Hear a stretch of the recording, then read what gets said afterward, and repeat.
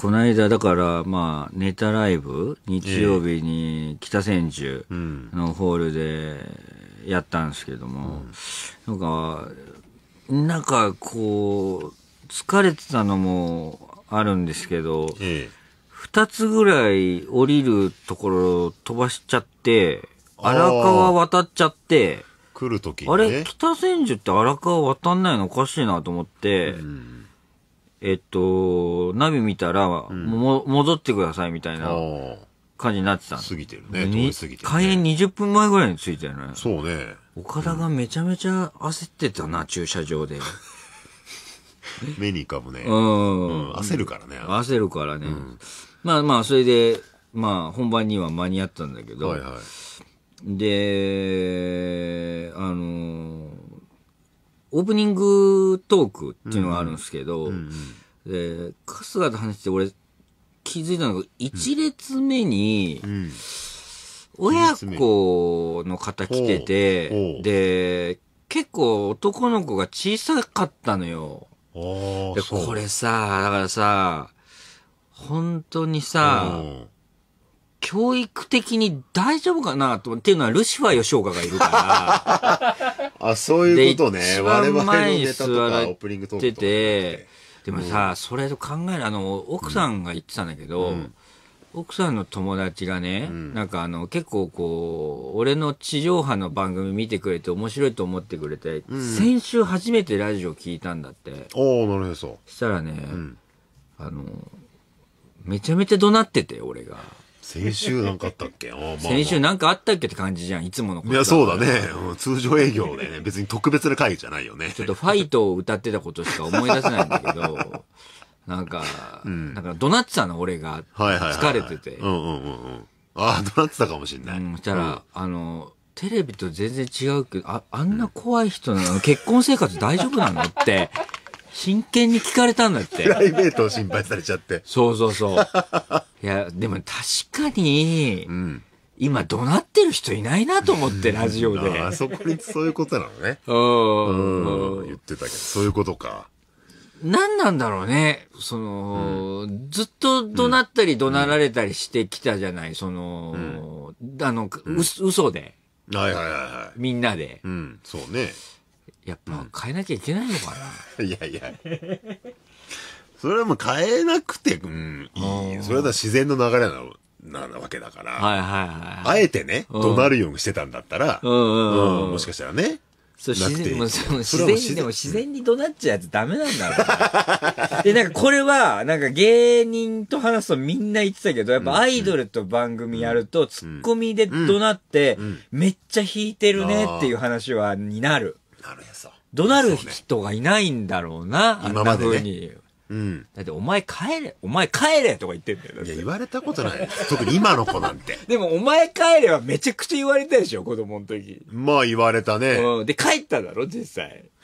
帰ったしう、んうん。なんか、うん、なんか中学の時にうん、なんかその先生に、うん。うん、湿気だな貴様はって言われたけどね。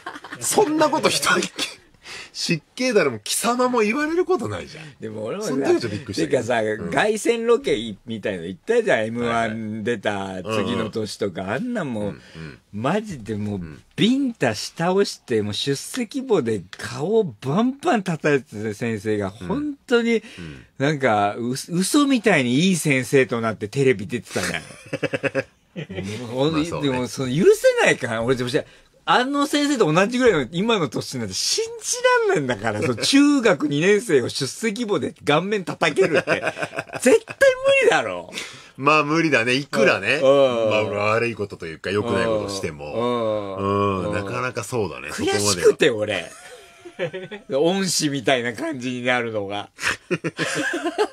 まあまあ、しょう、まあ、しょう、まあね。うん時代っていうのもね、なんかや嫌だ、嫌だったわ、それで、その高校のみんなと飲んでた時。でもあれがあったから、なんか、い今の俺たちがあるみたいな言い方してるから、俺だけはもう許せないの、当時。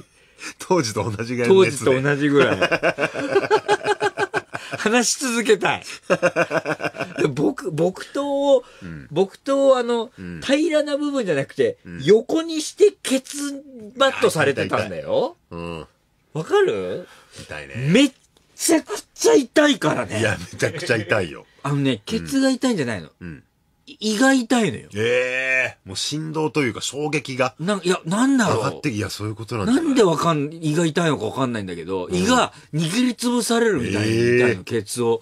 木刀の横でパーン叩かれて。あーいや、そういうことだ。衝撃がだから内臓、うん。うん、来るんじゃない？まあ、こんな話するつもりじゃなかったんだけど、うん。もう、それで、俺子供いるなーって思っちゃったのよ。なるへそ。うん。はいはいはそれでい。う、ん。このラジオもその奥さんの話聞いて、冒頭で言った方がいいのかな？冒頭で？うん何をですか？いや、なんかその、ほら、アニメ放送される時に離れてみてください的なさ、突突。然大声を出すこともあるかもしれませんが、あのー音量を絞ってきてください的な。自分で言ってから、数分後に怒鳴るわけでしょ？変なラジオだよ、それ。それは春日が言うとか、怒鳴らないじゃん、春日は。まあねまでもたまに怒鳴るけど。それだったらなんかアナウンサーの方に、ああ、と、撮ってもらって。だからほんとテレビと同じ方式でさ、あれさうん、その、止まらないじゃん、画面が。うんいや、最中、画面は動いてるけど上とかに出るじゃ。うんんだから、喋ってる間で、そのなんか、被せるように、こ小声みたいな感じで、えうんえこのラジオは、みたいな。そういうのオープニングノーツいる。裏で、でもさそれはさ違うじゃん。字幕、え、アニメで字幕で出るから読むけど、うん。声と声じゃん。だからちょっと我々のこのね、うん二人の声を抑えてもらって、ツイあーッターなんかなんかに、でもこのラジオで確かには、怒鳴ることが、つっていうのを被せて、またこう我々の声を大きくしてもらって。でも確かに言わんとしてることがわかる。その、あの、オンリーでそこだけ流したら、ん怒鳴らずにいられなくなるもんね。振りでしか、振りにしか聞こえないからさ。逆にね。いや、で、うんで、多分、お母さんがすごいファンでいてくださるから、もちろんお子さんにも楽しんでほしいけど、ライブね。メンバー的に、ちょっと変態が多いなと思って。いや、これがむ、で、どう、でもお母さんの教育的に OK だと思ってるから来てくれてんのか、うん。どうかと思ってたの、俺は。いはい気になってたわけね。そうでんもしそうだとしたらすごいなと思ったのが、あの、下ネタ大王の、うん。もう関東下ネタキングのうんルシファー吉岡が、うん一部二部ある一、中でその子供がいた一部で、うん。下ネタやんなかったのよ。ああ、そうね、珍しくね。珍しく。うん。で、うん俺、そそれ見て、ルシファーがうん、袖かなんかから、おお客さん見て子供いるの気づいて。下ネタやめたんじゃないかなって。なるへそ。だとしたら、で、だ誰にも言わず、うん。帰ってたらめっちゃかっこいいなと思って。いやー、それはある、だね。キうんャリア的にもでき、できる、できるというか。うんうん。うん、できてもおかしくないね。で、ライブ終わってさ、うんルシファーにさ、うんあの、LINE したのよ。うんうんルシファーちょっと俺の勘違いかもしんないんだけど、うん一列目にお子さん座ってたから、うんあのー下ネタじゃないネタやってくれたの、って言ったら、うん。返信来て、うん。あの、お疲れ様ですと。うんうん。あのーそうだったと言いたいところですが、あ子供がいることにすら気づきませんでしたって。あ。なんだあよ。の下ネタじゃないネタもあるぞといううん。幅広さを見せたいがゆえの行動で、エゴでしかありませんっていう。自分だよ。それがたまたまいい方に転がっただけで。うんうん、いろいろ重なって、うんたまたまだった。で、俺自分の寝た時子供いるって散々思った後、春日に思いっきりミドルキックしてるからね。ああ、そうだね。うん。そう目の前で、目の前だった。俺がルシファーがね、そうだとしたらすげえなと思ったら俺の勘違いだったんだけど。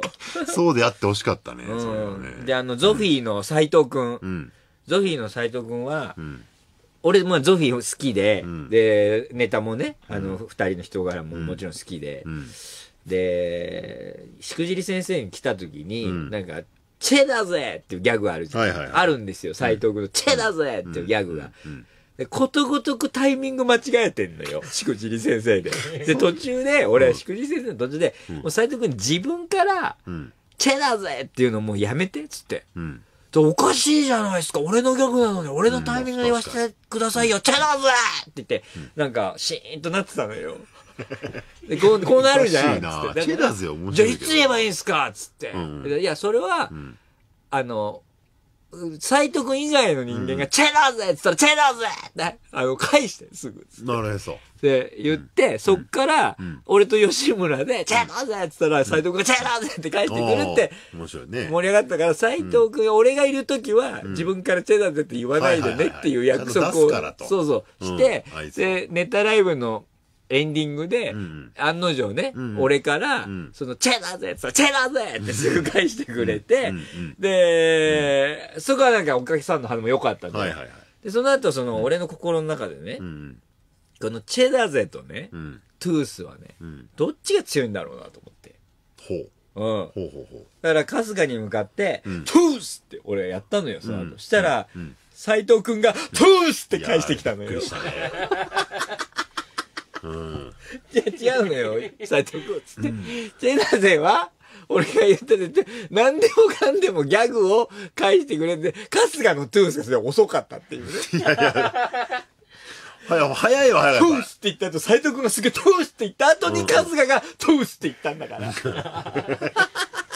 反応早いんでね。そうそうそうそうそう。でも自分のじゃないからね。そうそう。で、その後、あの、一部と二部の間で、んそれで、その後もう一回チェダーゼをやったのかな、なんで俺が思ってたイメージと違うな、チェダーゼって言ったらチェダーゼって言ったの、うん一部のエンディングで。うん部と二部の間、ちょっと時間ある。んそのなんか斎藤君が楽屋まで来て、うん。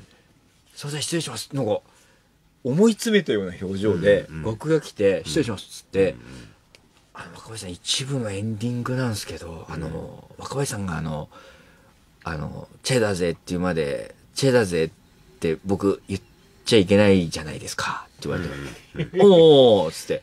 で、あの、2回目に、あの、最後のチェダーゼも返したら、あれは、あの、約束を破って僕からチェダーゼが正解でしたかね？って聞かれて、うん。あの、そんなにしっかりやってないよ、斎藤君って。そうだね。シンプルでいいもんね。すっごい真面目なんだろうね。真面目だと思ね、だから、う。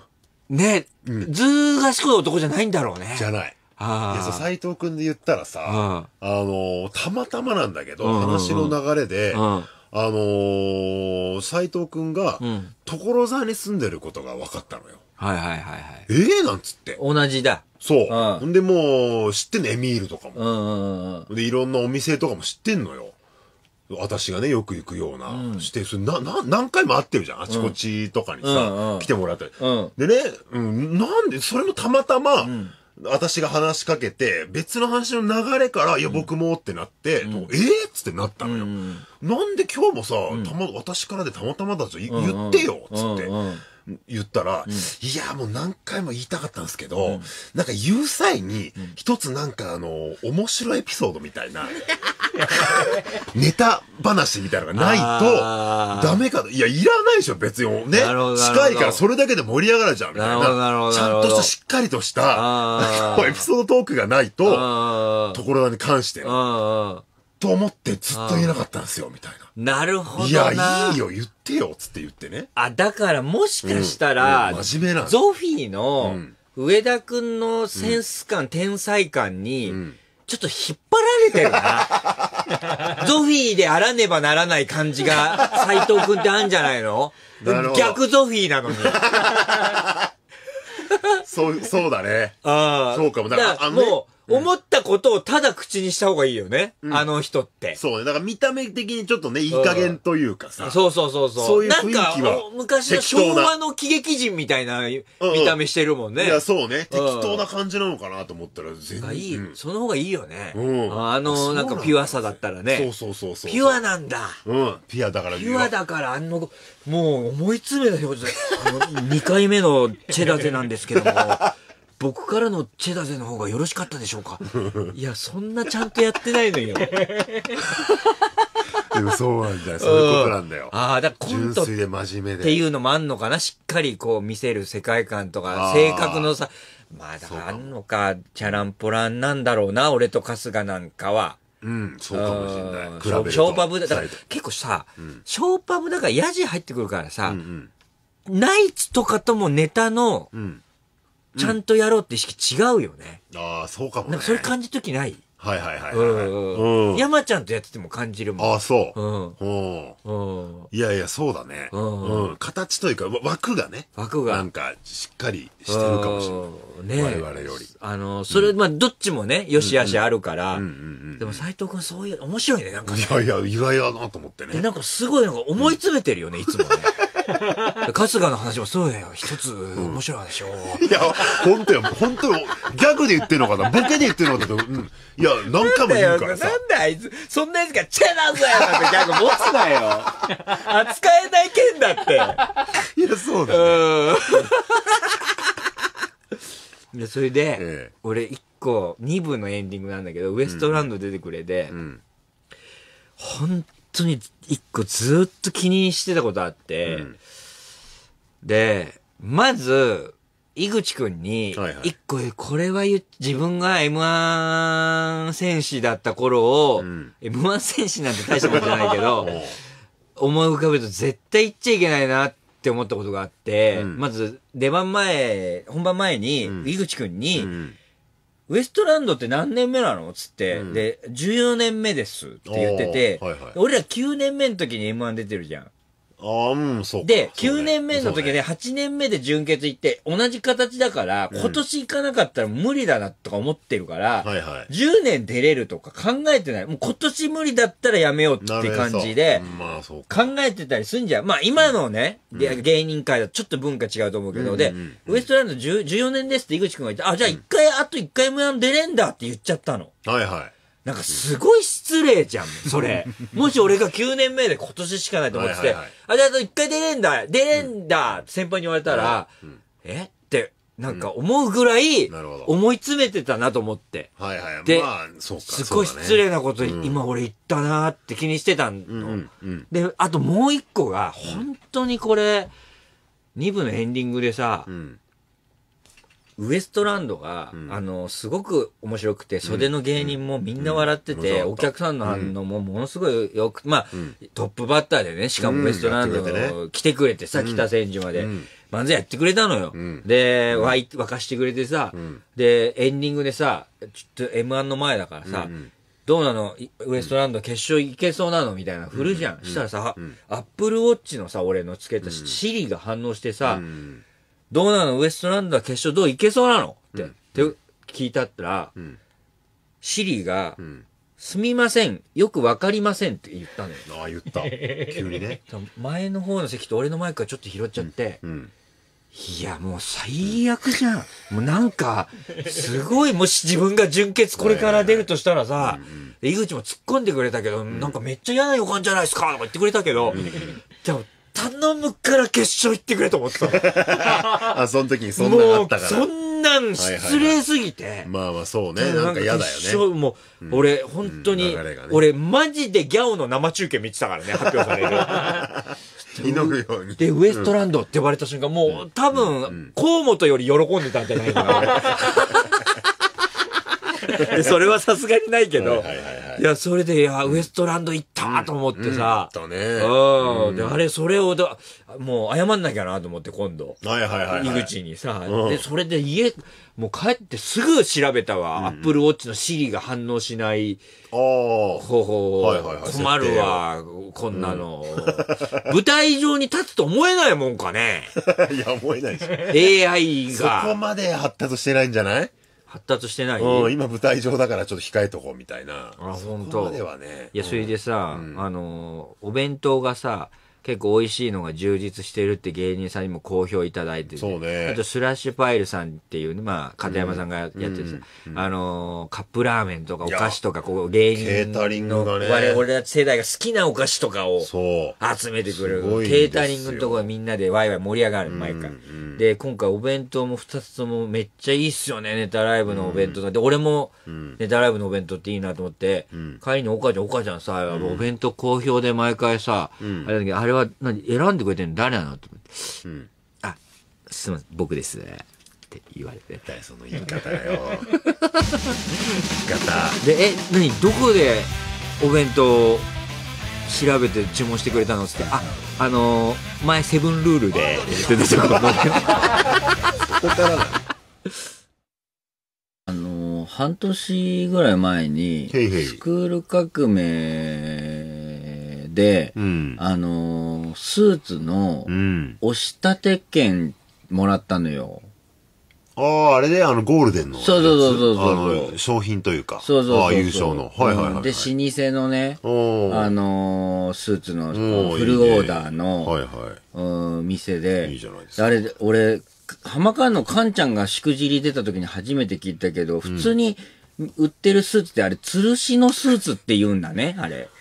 吊るしのスーツって体に合わないじゃんってかん、かんちゃんが言ってたのが俺衝撃で、それが耳に入ってから、あの、測るオーダーの、オーダーメイドのスーツを作りたいな、漫才のスーツをって思い始めて、ん。それであの、俺さ、そこのさ、この日本放送出てさ、すぐのところにさ、ポール・スミスがあるんだけど、武道館のライブ前に、まあ、どうしてもやっぱり、あの、ネタを書かなきゃいけないっつって、自分をもう追い込まなきゃいけないって思って、ポール・スミスのあの、紺のスーツを買ったのよ。おーうん。あれが、だから2019年とかで、うんうん。で、それで、全部で20万ぐらい、ジャケットベストで、それを買ってプレッシャーかけて、自分がはいはいはい。それで考えてたのね。うん。それで、だからずっと最近は、その武道館の頃、時のう、ん。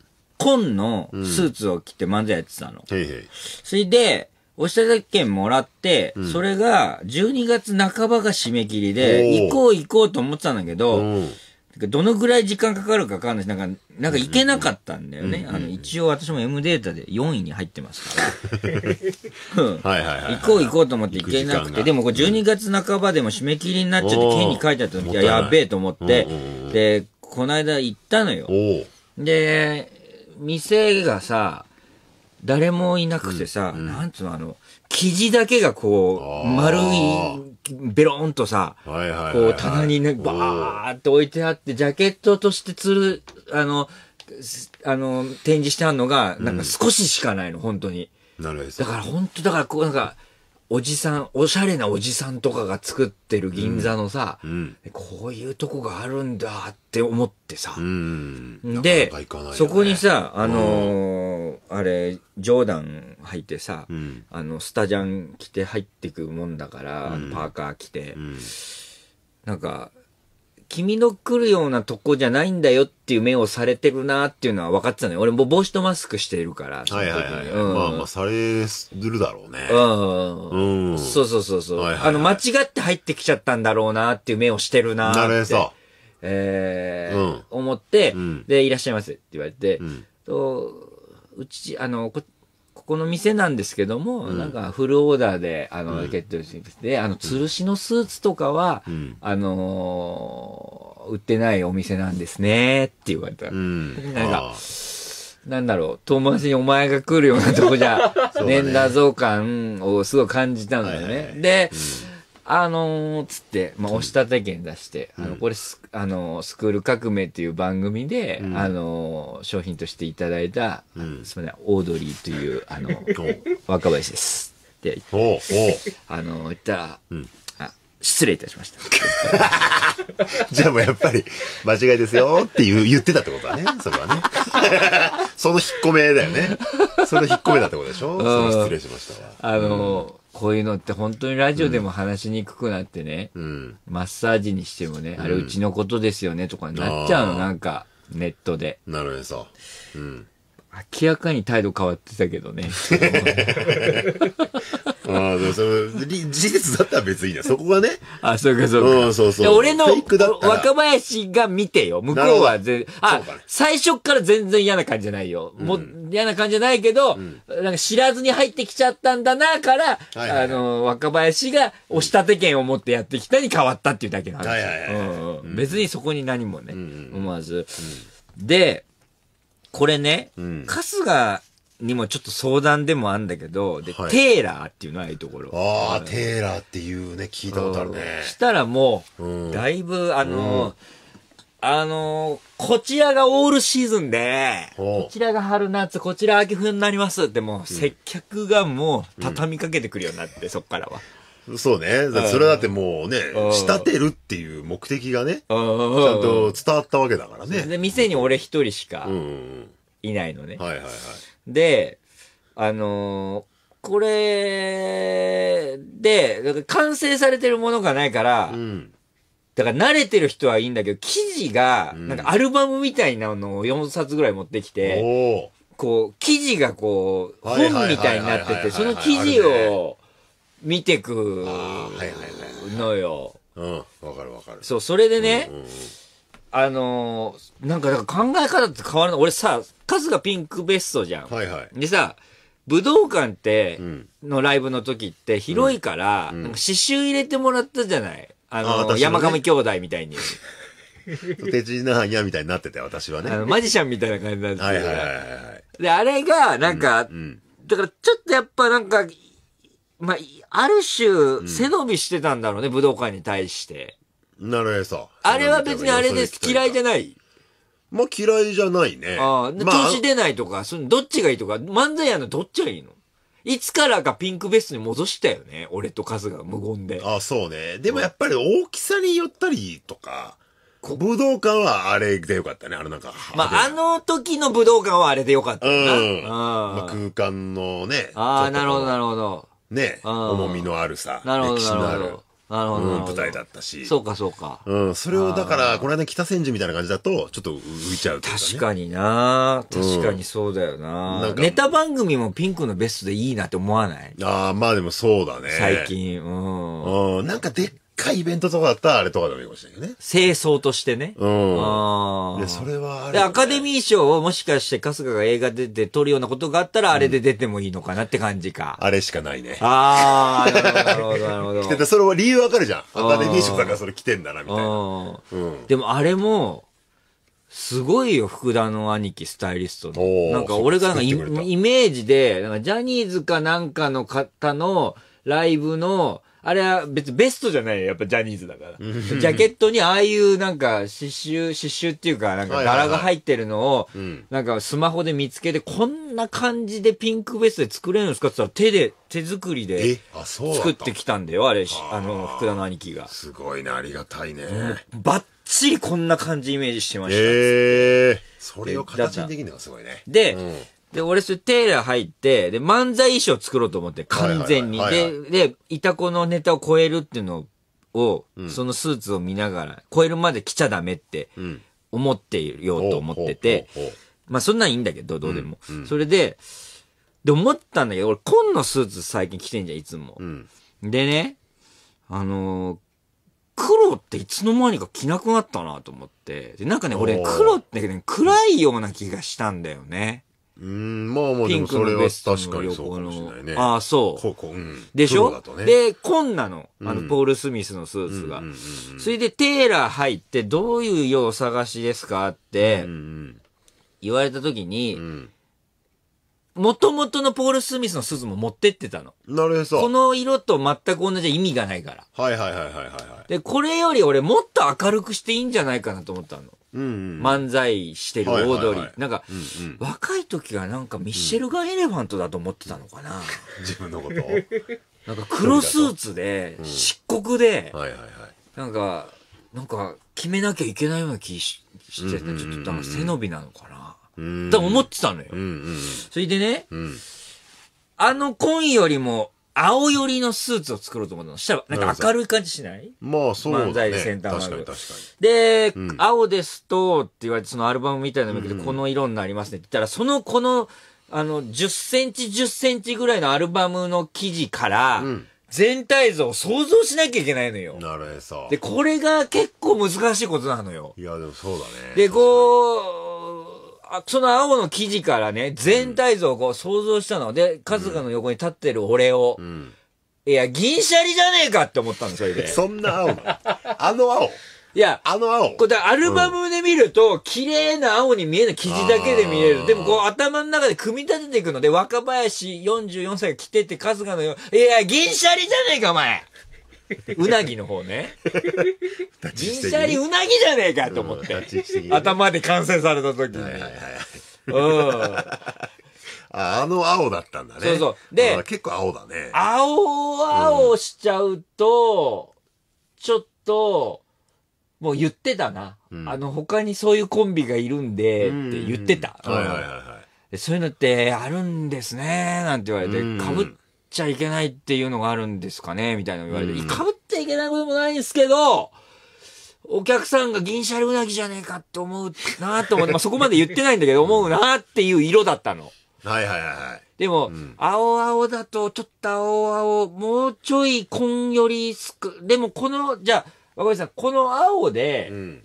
下がね、うん。スラックス別の生地で作るもできますよって言われて。おで、この青の下って何色とかな、ん、グレーとか、つって、うん頭の中でこう、いや、米屋じゃねえかと思って。なる、確かに小宮くんだ。そう、その灰色の生地も出してくれて、上下でこう並べてくれるんだけど、あいや、米屋じゃねえかと思って。漫才の時のね。いるもんなんだよ。で、小宮じゃんってなっちゃうと思うの、お客さんも。まあそうだね。うん余計なところにちょっと気がいっちゃうというかね。うんうんネタというよりも、まず小宮じゃんって思っちゃうで、ねこれは、俺は紺より青で考えてて、もうちょっとこう爽や、明るい青、うん。紺より青でしか決めないでいったから、そっから、うん。あの、ゼロベースで考え始めなきゃいけないから、そのテーラーの真ん中の、なんか、アンティークっぽい机おにー対面で座って。記事のアルバムでだからね、時間ちょっ。と、ちょっとお時間大丈夫ですかもらってって、ちょっとし調べようと思って、スマホで。うんで、ピンクにうん一番合う色ってなんだろうって思ったのよ。おー、なるへそ。うん。はいはいはいはピンクに一番合う色で、そのな、なんと、な、何色っていうの？なんかあるじゃん、そういうい。のって。あれね、組み合わせみたいなね。そうそうそう。この色はこオレンジと青が意外といい。いみたいな。はいはいはいはい。なんかあるじゃん？あるね。で、あれを調べてたら、ピンクに一番合う色ってう、ん。エメラルドグリーンなんだっえて。えあ、そうなの？うん。ええで、エメラルドグリーンって思って、うん。ちなみに、あ、エメラルドグリーンみたいのってあります？つって、えっと、薄い緑みたいな感じ、薄うん緑うん。みたいな感じですか？緑もいっぱいありますよ、つって、うん。また別のアルバムで出してくれて、うん。一番薄い緑出したらね、うん。もらったのよ、あったのよ。だからこういう、これはなんかダブルで作って、おう。中白 T シャツ着てとかで作る若い人が多いですね、と思ってね、頭の中で組み立ててたの。うんうんうん。いや、芝じゃねえかよと思って。あ、芝くん、そうか。モグライダーの、だからいや、芝がなんか、もう、エメラルドグリーン着てたどっかどっかどうかわかんないけど、なんか芝っぽいなと思って。ああ、まあ、形とか。形とか。はいはいはいはいあとなんかね、それがね、ピンクのベストとエメラルドグリーンのスーツで並んだら、なんか、サンリオピューロランドみたいになるなと思って。なるほどね。なんかわかるでしょ？すぎるというか、うん。うんどう思う？エメラルドグリーンのスーツ、俺エの。メラルドグリーンはやっぱちょっと笑っ、笑っちゃうというか、うんそうだね。でもなんかね、向こうの人がね、またそれを外国の人、モデルが着てるカタログでグリーンだとこうやって着てますって出されると、うんありな風に見えちゃうのね。俺じゃないから。はいはいはい。その人が似合うから。うん、うん、そうだね。似合う人が着てるわけだからね。そうそうそうそう、うんでもうちょい濃い緑の方がうんうんうん落ち着いて見えんのかなと思って。うん。うんうんうんうん。あの、エメラルドグリーンだと、なんか、うんなんかね、韓流アイドルみたいにもなりかねん。なんかね、そう。あとなんかヒコロヒーみたいだなっていう。なんとなくわわかるでしょ？ジャケットをこうなんかこう、はいはいはいはいああいう作りをすることはあるんですよ、最近。若い人が来て、とは言ってたんだよ。なんかおしゃれな人が着るようなすっね。ごいおしゃれな人がオーバーサイズを作りに来ることありますよって言われて、ヒコロヒーだなと思って。ひでも、でもなんかどう、ピンクのベストにヒコロヒーのあの感じわかるでしょ？あのあの着崩し方。はいはいはい言ったりどう、どう思う？なんかやっぱ違うよな。やっぱ違うんじゃ、それわ、若林さんっぽくないというかね。そうなんだよな。うん。俺がなんかそれやっちゃダメだよな。なんかそこだからね。ううん。ちょっとそうだね。うんあ緑着てるなってイメージがないからそう。だから、今だから、ってなるともっと濃い緑ならうん。いいのかなと思ってはいはいはい、濃い緑ありますよ。ちょっとありますよ。だってバーってまた記事のあるます。こういう色とかって見せてくれたらう、ん。頭の中で組み立てたわけ。それ着てる若林は。いや、カエル亭中野じゃねえかと思って。いるもんだなぁうーん。まあ中野くんか。濃い緑とピンクベスト着た春日、どう、うーん。違うよな。あのね、汗、あとミキの。う。おー。ああいう緑、カエル亭中野、うん。で、汗は別に悪くないよな。でも汗ってうん、可愛いじゃん。そうね顔が。だから似合ってんだよな、多分。はいはいはいはい。やっぱ違うよな。み、あの緑とピンクのベストは。で、紺がい。いいのか。でも紺2着持っててもなって思うわけよ。まあせっかく作るんだったらね、うん違う色でのがいいよね。思い出したんだけど、さよなら足りない二人の、俺すぐ脱いちゃったんだけど、うん赤いタキシード覚えてる？あれすごい、うん。あのー評判いいの。特に女の人に、す、あの衣装めっちゃ似合ってましたねって、なんですぐ脱いじゃったんです投げ捨てたんだよね。あの、肩が張って。だから、フルオーダーじゃないから、肩、俺肩が結構あるじゃん。はいはいはいはい。こう見えうんて、うんうん。首も太いし。はいはい。で、なんか動きにくくて、うんで、や、山里を殴り倒そうと思ってたから、後半で、うん。投げ捨てたんだけど、うんうんうんあの赤がすごい良かったっうん。て言われて、うんで、赤、濃い赤だったんだよね。で赤ありますって、あ赤、赤、赤、赤ありますよ。赤もあんのよ。うん生地が。すごい。なんかベストで作る人がとかなんかいろいろ、まあまあ生地があって、だからその、カズレーザーみたいな赤から始まってたね。はいはいはい。うん赤のね、いろいろ濃淡がある。そうそう。でだんだんこう、うん、濃く赤になって、はいはいはいこの辺の赤だったかな、さよなら足りない二人。うんうんうんまあ、あと、その前の明るい赤が、いや、ともしげじゃねえかと思って、なんかその、テーラーでモグライダーが完成しちゃったりしてて。で、この赤でタキシードっぽく作るってどうですかって言われたの。タタキシードが、あの、いい、この、こういう感じですごいいいって言われたんですけどって俺見せてんのよ、テーラーの人に。したら、はいはいあ、タキシードって作るのどうですかって言っああ、て、もういっそのこと。で、この赤だとでも派手、派手、で、ピンクを、春日のピンクよりう、ん。俺の赤の方が目立っちゃうかあなっーて思うんすよ、って言ったら、じゃあ下黒とか、黒いズボン履くとか、つって頭の中でこう組み合わせたのね。うん。いや、タイガじゃねえかと思って。そうか、いるなぁ。いるなぁ。やっぱいるなぁ。いや、いるのよ、やっぱり。うん、誰かしらとはかぶっちゃうのかでね、あれを、え、あの、エンジっぽい赤だったんだけど、なかったね。で、エンジも考えたけど、うん。皇帝がいるしなと思って。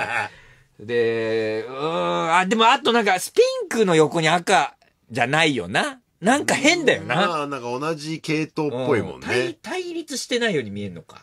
なんか。うん、何暖色とかいうのかなうんなんかねあね。うん、で、結局難しいね。結局黒にしますと。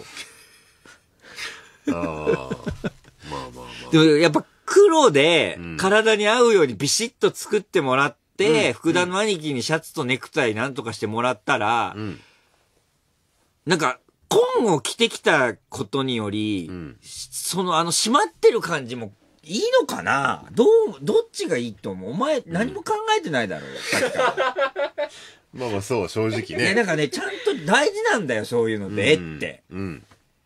緑、緑じゃない？やっぱ、やっぱ違うよな。やっぱ、黒とか紺がいいんじゃない？早く言えよ、もっと、お それはやっぱちゃんとしたなんかさ、前。うん、しっかりした人というかね。うん。うん。そういうイメージ。で、うんねもう、で、行くとこまで行った黒、シック、し、渋すぎますよっていう黒で行きたいんです。行きたいですって言ったの。そしたら、うん。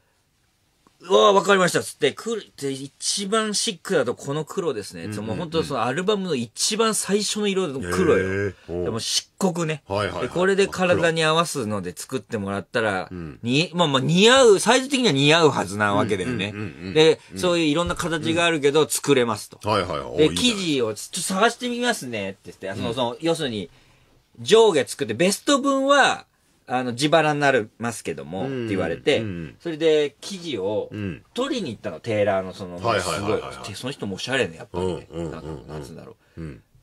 そうそうそう。で、あ、で、コンで、ただのコーン作ったら、これ2着になっちゃうんですよねってうん言った時に、混んでもね、今ね、いろいろありますよ、つってね、こうね、あの、白いライン？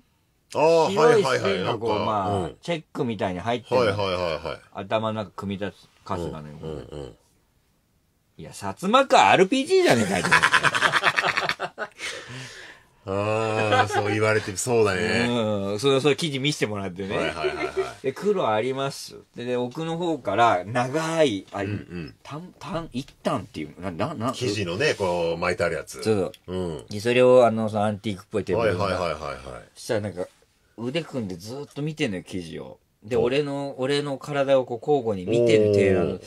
で、なんか、うーんって言ってて、うんあどあの、これ、この生地いいっすね。なんかうん、シックな黒で漫才師としてはいいんじゃないかなと思ったの。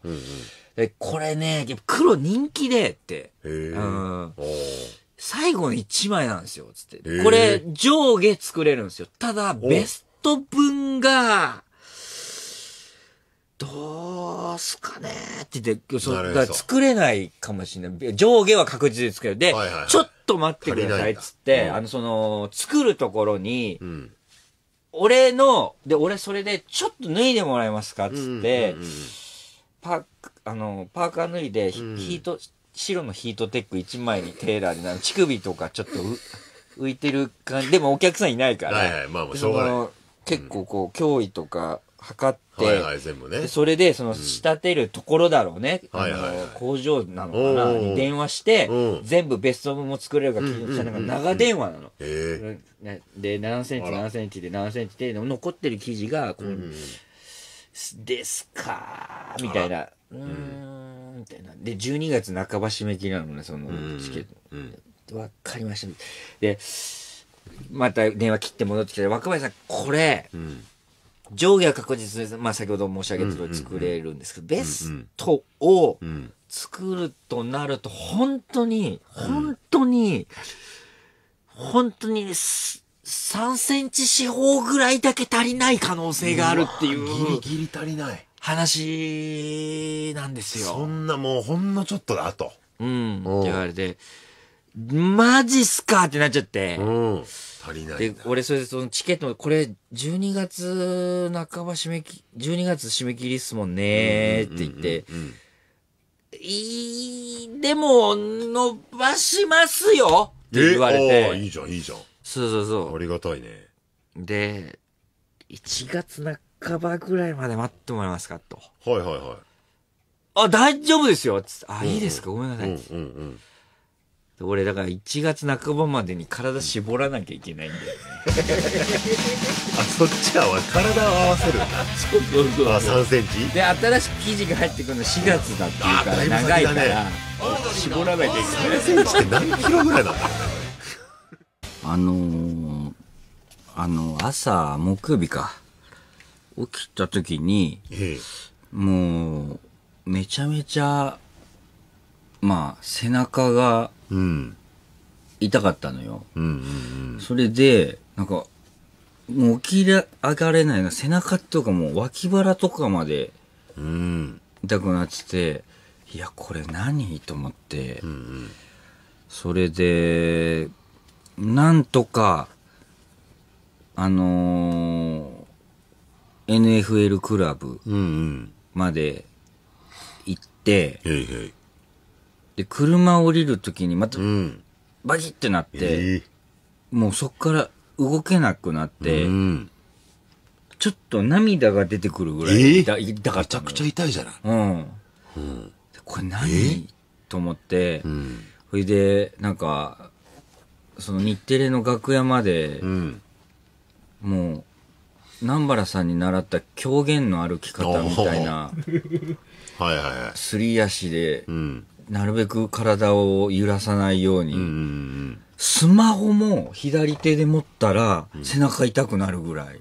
うん。だから右手に持ったなるへそ。の。もうだからそこの、なんか動いたらもう痛いんだね。もうちょっとでも。うん動かすと。うん。うん。刺激が入ると。そう。うん。で最悪だと思ってて、検索ちゃん明日だしなと最悪だと思って、それで、着替える、アメフトのジャージ着るじゃん。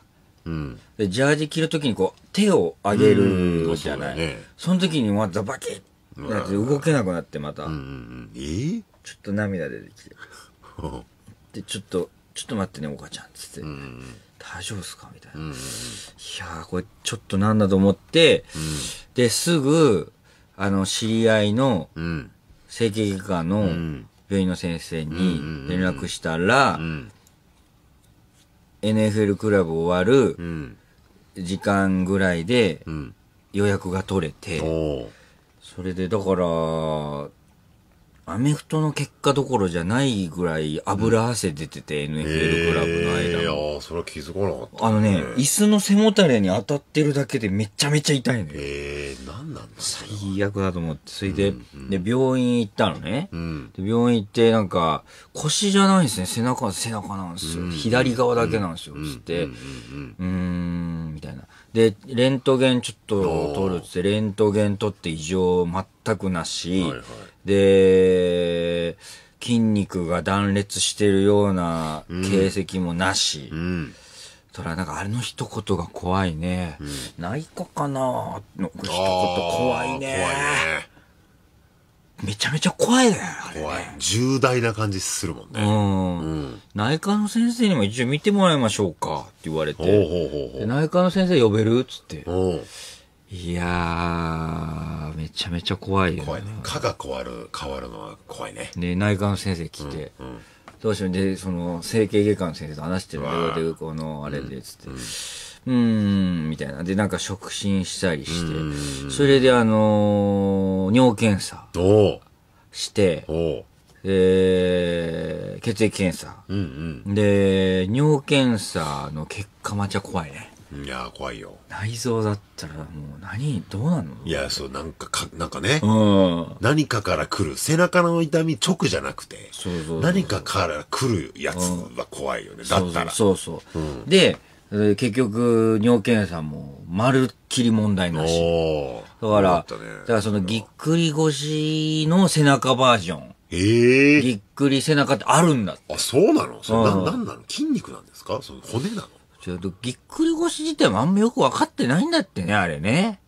なんか神経みたいなことなんかあんまりわかんないけどいや、見たい圧よ。迫されるかななんかねそうそうそう外れるかなんかなんでそうなのよ。背中もあるんだそのそうそう。それでホテル暮らししてんのよ、テレビ局の近くに。あーの距離がきついから。はいはいはいはい家までのああそういうことねそうそう。それで BS で藤森くんのゴルフ見見てたんだけど、はいはいはいでそれで、あの、その整形外科の先生が、俺がほら、バスケで、膝の怪我した時とかもずっと見てくれてうん。る、まあその前から見てくれてる先生で、いや、明日どうしても外せない仕事あって、つって、それってあれですか？あの、動く仕事ですか？って言われて、立ち仕事ですか？って言われて、で漫才なんですけど、って。言ったら、あの、めっちゃ詳しいから、俺に。うんああれだ、年に一度の検索ちゃんだって言われて。詳しいな詳しいなーって思った俺。時期からね年に一度のまで知ってんだと思って。俺たちが漫才をテレビでやる。うんうんうんうんはいはいはいはあれは外せないよね、つんって。で、あれ、座薬の痛み止めって入れたことある？って言われて、高校の時に、それこそ膝怪我して最後の公式戦の時にお尻から痛み止め入れて俺出てるのよ。だから18以来入れてないっすね。おーで、入れ方教えてもらって、それで次の日の、もうで、それでもう動けないの、ずーっと。手動かすだけで痛いから。で、明日ま、で、マジかと思って、それで、でもほら、背中、漫才の頭の方で叩かれるじゃん。ああそうね。そしかも左側よ。う。だからなんか、漫画の方のね、スラムダンクね、うん桜木花道の気分だよね。ああなってたうん、背ビキ中。ッつってうん。ああで、親父の、その、なんだ？あのー、あの、栄光時代はいつだっていうね。俺は今だっていう。はいはいはいはいはいうん出るんだってそれでもで、ね俺も今だっていう気持ちだからさ。おおうん。何笑ってんだよ、え？笑ってないけ お前。どもうそう、病院行って、その、なんか、ああだこうだしてんだよ、こっちは。いやそれはそれはね大変だうんなっていうふうに聞いてました大変だな、だけかよ、お前。大変だな。うん。うん。覚悟しとけよ、お前。い 何があるこの先？あのー、なんかコンビで仕事しないよねっていう時代だよ。それが訪れるってこと？覚悟しとけよ。でも、それね、ちょっと話、別の話、今それで思い出したんだけど、はいはい。春日って、ん。今年テレビ出まくったことで、んテレビ上手くなったよな。え そう、そうですか？うん、横にいて。で、この番組はこんな感じっていうチューニングがすごいなって、後半思ってて、で、う。この番組でこの立場だったらこのぐらいのことを言うのが一番だよなってことをバンバン言うのよ。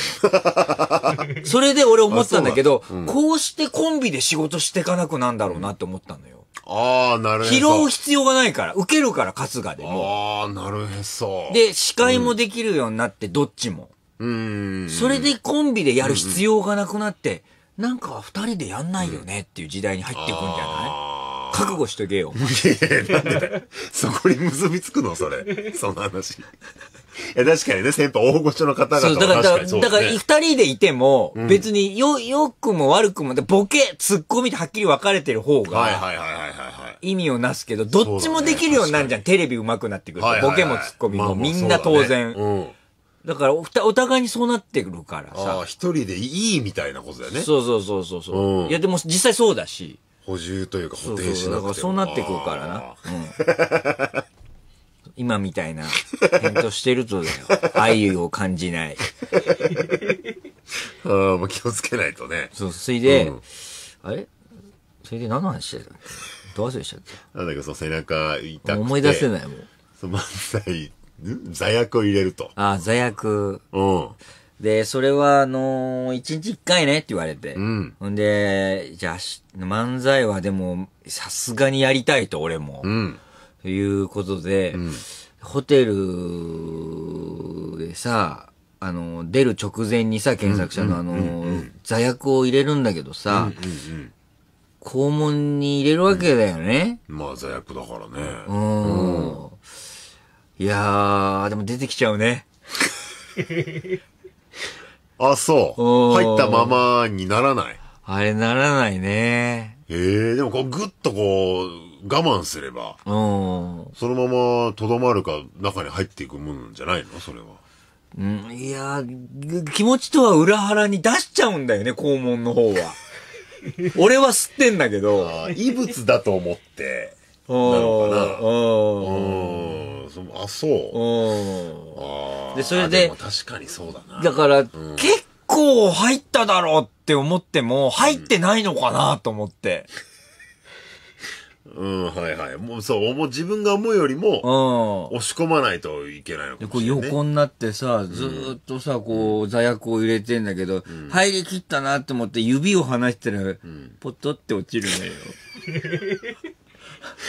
もっともっといかないと。浅いんだよ、だから。で、それをさ、お前が横にいてさ、もっと行かないとって言ってくれればいいけど、わかんないから、見えないからってことですか？見えないから、なんか、スマホをイン、インカメラにして、その、ホテルの壁に立てかけて、その、こ肛門を、お笑ってんじゃねえぞ、お前いや、笑うだろ、この話は。だって。どうやって聞いたらいいんだ笑うでしょ、これは。だって。その、肛門をさ、インカメラにしてさ、あの、インカメラにしてるだけでね、あの、ビデオ録画してないと。いや、もうそんな必要ないよ。インスタに載せようかなと思ったんだけどストーリーズの方ね。いや、しないよ、そんな。やっぱりあの、ずっとは残ってほしくないから、ストーリーズの方ダよ。メよ。すぐ消えたとしても。ライブ配信もいいかなと思ったけどね。いやいや、ダメよ。それでね、こう、インカメラにして座薬をこう、結構押し込んで入れて、もっとか。だから、もう全部入れたなと思ったら半分ぐらいね。俺の全部は、あ、感覚と違うんだね。感覚と違う。結構押し込まないと。ああ、だから、だから本当思ったより、もう、これは行き過ぎだろうぐらい行かないとダメなんじゃない？い行かないと入らない。うん、現実とやっぱりこっちのさ、うん。個人の感想が違うんだよ、多分。そうそうそうそう。ほいで、あのー入れて、指をパッて離すと、プー、ポトってまた出てくんのよ。あープ、プーはそあの、、あ、なんか音はしないけど、うなんか、あ、感じね。また、全然入り込んでくれないから。ああ、じゃあもう相当入れ込まないとダメなんだな。だから俺は思ったら、その自分の感覚を変えようと。うん、うん、うん。座薬を入れようと思うんじゃ、座薬は、肛門に入っていかないなって思ったの。でも座薬を入れるんでしょ？いや、違う。人差し指の第二関節まで入れようっていうぐらいでちょうどいい。なるへそ。ああ。はいはいはいはい。キャッチボールとしてだからね。うん。相手の胸元じゃなくて、んその相手を超えて、目標だから。うん。ちょっとその先に設定することで胸元にズバンといくみたいなことでしょ？それで、インカメラにし違うならて、違うと。あのー、うんいただきたいちょっとそのうん。そう仕返しじゃない今関東スカシ芸人の。結構早めに仕返し来たな。あの、客観的に聞いて思うけど、関東スカシ芸人って何？いや、知らんよ。そこもだから、そなんだろうかなと思いながら私も、一切助けにかけ、書くって言ってたよ。それは作るよ。関東スカシ芸人パーソナリティか。それは作るよ。今しめとして。あんな透かししたら。うん。で俺はそのズレ漫才作った時に思ったの。客を、に笑ってもらおうって思うようじゃ受けないんだから、ん客をうん。びっくりさせて、唖然とさせよう。奥ま、狙わないと、はいはい。いいものは作れないんだよ。うん。だから、第二関節まで入れてやるっていう気持ちで、はいはいはいはい。ちょうど第一関節まで指は入ってった。座薬とね。あ、第2まではいかないんだ。うんまあでも、ほら、座薬だけ入れるよりも、そうそうそう指ごといってるからね。うん座薬はもっと奥に入ってますよ。そうそう。そしたらなんかこう、あ ETC が開くような感じで、スーッと吸い込んでくれた。はあ、うんなんかやっぱ関門っていうかあんないこ、ここまで行かないと、そうそうそう。ラインというか、そうそうそう。ここまで押し込まないと、その先行かないよみたいな。そうそう。へえ。それで、その、あの、でもあれよ、便意みたいの来るよ。ああ、そう。まだまだ出そうとするわ。なるへそ。それをなんか、そっちで来るんだ。そうそうそうそう。アプローチしてくるんだ。そう、だからね、こう、ホテルのね、椅子に座、足組んで座ってね、はいはいはい。閉めて、うそん。の便意を15分我慢して、そしたらだんだん便意が収まっていく。あそうそう。したらね、もうね、30分ぐらいでね、びっくりするぐらい背中の痛み消えたのねあ。。へえ、効くんだね。効くんですよ、これが。ああ、いいね、いいね。それで、よし、これなら、あ漫才はできると思ってうんうんうん、その、行ってさ。うんで、テレ朝入ってさ、はい検索ちゃんのさ、うんうん。あのー収録ですよ、うんうんで。俺にはちょっと、検索ちゃんの、まま収録の前に、一個大きな仕事があって、ほう。でそれは、あのー何かっていうと、うんえーっとね、太田さんってね、うん。楽屋挨拶行くとね、うんいつもなんかおもちゃのピストルでね、うんなんか、あのー撃つふりをして、うん。で、みんながなんすかって言うみたいのをもう10年、検索ちゃんそんなやでってるか、もうやってるじゃない。ああ、まあそうだね。で、10去年の検索ちゃんの時に、うん。暴れる君は本当に暴れるのかっていう企画をやろうとして、うん。さすまたをこの番組買ったじゃない。ああ、はいはいはいはいはい。うん。うんで、俺は、なんかこうみんな、その、太田さんのおもちゃのピストルに対して、うんなんか、なんか、盾を持ってくる人とか、いろんなこう、モノボケみたいになってるっていうのを聞いて、うん。俺はその、日本放送からさすまたを持って去年、太田さんを取り押さえようと思ってたの。はいはいはいはい。で、で、それをすっかり忘れてて、うん太田さんに去年ね、去年の話ね、挨拶楽屋行った時に、うん案の定太田さんがピストルを、はいはいはいおもちゃのピストルを出してきたから、その時思い出した、あうん。なるへそ。ーであーって言ったら、どうしたのって言われて、うん。いや、俺、さすまたをうん。持ってきて、太田さん取り押さえようとして、さすまた忘れましたって言ったら、で太田さんが爆笑してて、うんうん来年なっていうほう。話になって約束ほがあったのよ。う。うん。だからそれを覚えてたから。で、うん俺は、その、さすまたを、うんあのー日本放送にずっと置いてあるじゃん、暴れる君を取り押さえるための。で、結局なんかで流れたんだよね、それが。うん。えーさすまたをね、置いてあって、それでネットの、ネットでみんなで探して、んじゃあこれ買おうっていうのも、俺そこに居合わせてネットで選んでんの、さすまはいたを。はいはいはで、その、い。うん。さすまた、で、これちょっと最初に言っとくけど、うんその話になったの。検索者のスタジオでも。うんで、俺ね、これちょっとリスナーに最初に弁明しときたいんだけど、ん俺がネット通販で買ったって俺トークしてんだけど、んこれね、うん。勘弁してください。っていうのは、暴れる君は本当に暴れるかっていうのをラジオで検証するために、さすまたを日本放送で買ったのを持ってきたんですよの尺じゃ、邪魔じゃん、検索ちゃんにとって。もう俺が買ったでいいじゃん。だからここごめんなさい、暴れる君は本当に暴れるのか、日本で俺が、ね、でも俺は選んだのは俺だから。はいはい。ね、そこはいいよね。そうだね。うん100%、その、うん作ってないからね。作ってないから。そういうのに絶対いらないじゃん、暴れる君は。本当は暴れる君いらないね。いらない、いらい。ない、いらない。でそれき、話しても、それどういう。ことになるその企画で何肝心なとこが逆に受けなくなるそこが、だから、だから、俺が買ったに、で、もういいじゃん、タイトはいでパンで。それにしてます。はい。だからそこをなんか、あの、野暮なことしないで。でね、それが、その仕事が残ってたから、すでもせ、背中の痛みに、ん。まあちょっと残ってる。んなんか、そのさすまたを車に積んで持って、あの、テレビ朝日に入って、で、さすまた持って歩いてるから、他の芸人にすれ違うときに、え、今日コントやんの？まあ、そうなるよね。うん。で、なんか見たら、見らなんか違うのよ、太田さん取り押さえんのよって言うのも邪魔じゃん。廊下ですれ違う。それどういうことになるしね。だから、いや、ちょっとこれ、あの、べ、別件で、なんか使うんだ、つって。うんもうだから、そう、すれ違うすれ違う、結構すれ、その時間にみんなが入り時間だから、え、大鳥さんコントっすか？いや、あの、これはね、あのね、いや、めんどくさいな。ネタ普通の漫才そうなるか。普通の漫才っつって、言って、なんかなって、それで、もうあって、で、楽屋に置いといて、はいはいはい。で、メイクして書き換えて、太田さんに挨拶行こうと思って、で、さすまたを持って、また、あの、廊下歩いてて、で、したら、多分あれ、タイタンのマネージャー陣だと思うんだけど、ん。俺がその、太田さんの楽屋にさすまた一本持って、スーツで、うん。うん。あの、あ、あの、歩いてくからさ、うん。なんか、うん。うん。ちょっとしたなんか、東京リベンジャーズみたいな絵になってたと思うよ。何事だと。うんうん、そうなるよ。なるかだからね、。1メートル後ろぐらいを、それまで談笑してたタイタンのマネージャーがぴったり二人ついてきて。お太田さんになんかそう、ああ、でもやっぱ優秀なマネージャーさんだね。うん、ぴったり後ろ1メートルついてくんのは気配でわかるのいはいはいはいはい。それで、さすまった持ったまま、あの、別に、あの、暴れたり僕はしないんで、つって、ご挨拶いいですか？って言ったら、ああ、そうです。で、太田さん、若林さんご挨拶です。つったら、入ってくじゃん。いいよいよと、背中の痛みに耐え、去年の約束を守るべく、果たす。太田さんを取り押さえるぞと思って構えてう、ん。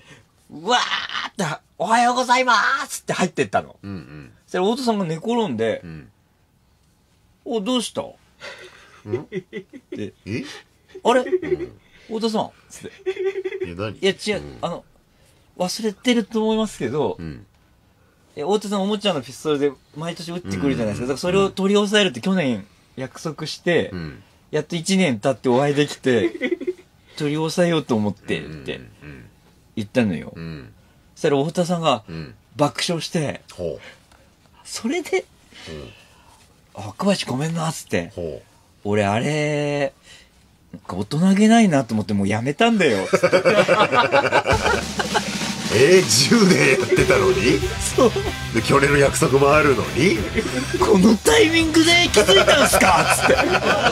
座薬入れなくてよかったなと思って。